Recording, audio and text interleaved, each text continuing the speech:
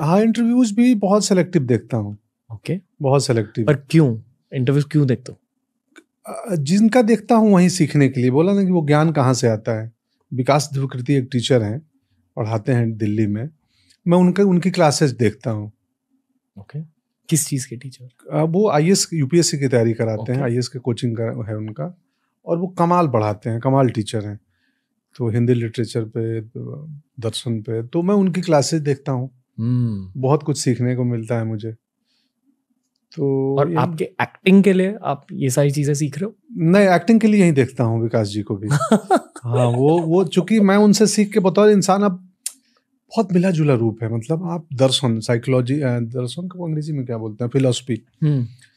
तो तो उसका कहीं ना कहीं वास्ता है आर्ट से।